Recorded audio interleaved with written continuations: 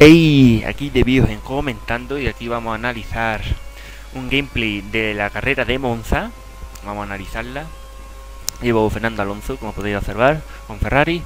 Aquí llegamos a la pedazo de frenada que hay que hacer. Una chicane de derecha a izquierda y ahí empezamos a acelerar. Pongo velocidad y venga, esta es solamente correr, correr.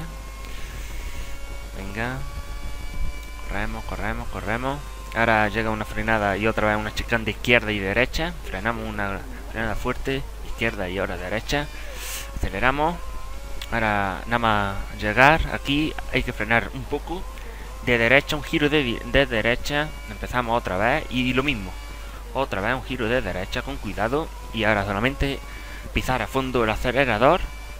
Y llegamos a otro, no una chicane, pero más o menos de izquierda a derecha rápida, se, toma un poco rápida, freno, ahora a la derecha y giro rápido a la izquierda y otra vez acelerar. Monza es un circuito que solamente acelerar y acelerar. Bueno, llegamos aquí a la gran